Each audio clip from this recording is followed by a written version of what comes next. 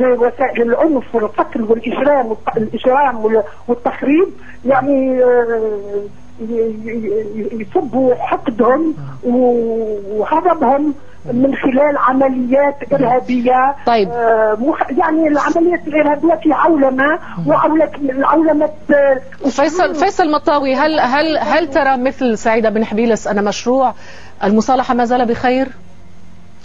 لا أنا أختلف تماما مع السيدة بن حبيبة بل أقول أن مشروع المصالحة لأنه قد فشل فشل فشلا ذريعا لأن ما معنى أن تكون هناك تفجيرات في في الجزائر وفي منطقة القبائل؟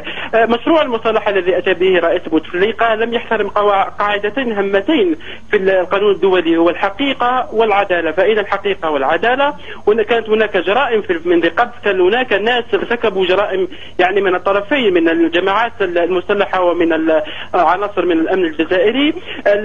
هذا المشروع الذي كان في 2005 لا نعرف إن كان يطبق بعد أم لا بحيث أن الوثيقة التي صوت عليها الشعب الجزائري تتوقف في زمن يعني ست أشهر فقط.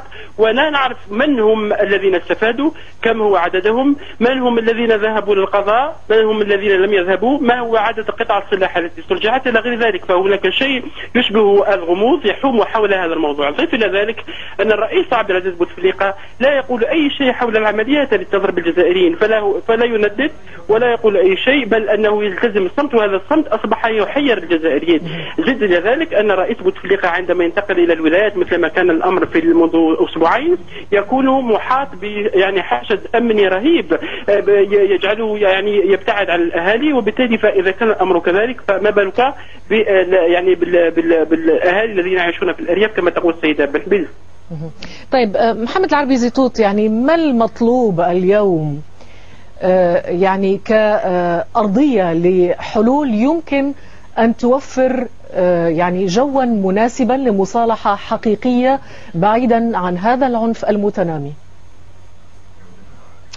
المطلوب كفانا خداعا كفانا كذبا كفانا نفاقا باستخدام مصطلحات المصالحة لم تكن إلا مخادعة حقيقية كما قال الأستاذ فيصل.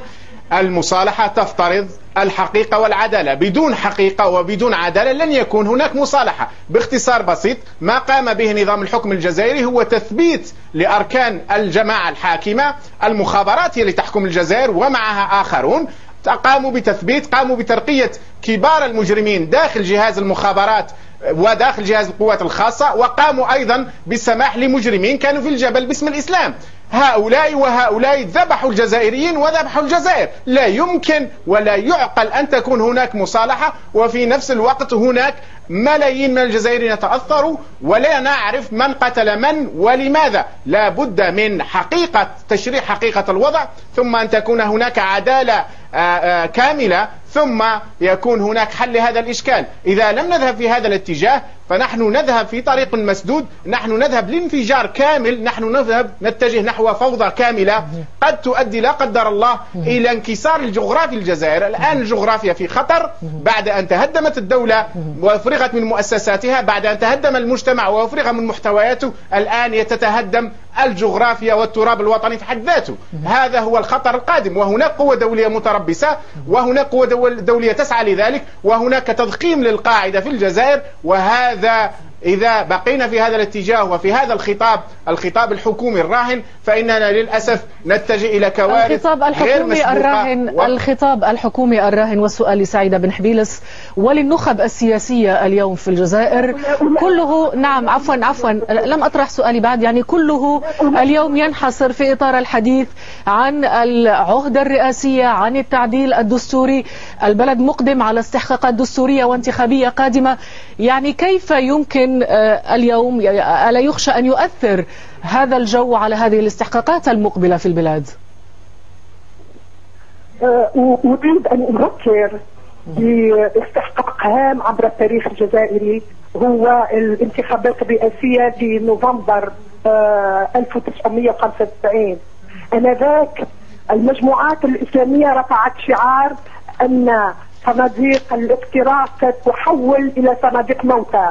والعالم أجمع بأسره والجزائريين الذين ساندوا باقي العالم آه يعني راهنوا على أن الوضع سينفجر في الجزائر. والشعب الجزائري في آه، يعني أشد الأوقات 1995 وما أدراك خرج بقوة ورفع صوته واختار رئيسه.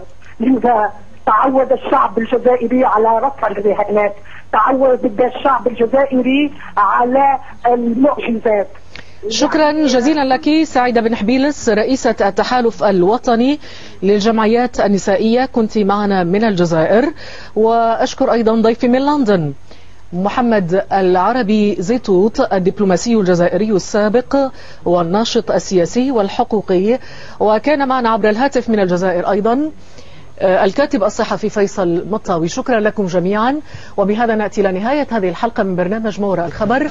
بإمكانكم المساهمة في اختيار مواضيع الحلقات القادمة بإرسالها على عنواننا الإلكتروني indeft الجزيرة دوت نت. غدا بحول الله قراءة جديدة في ما وراء خبر جديد. أطيب المنى وإلى اللقاء.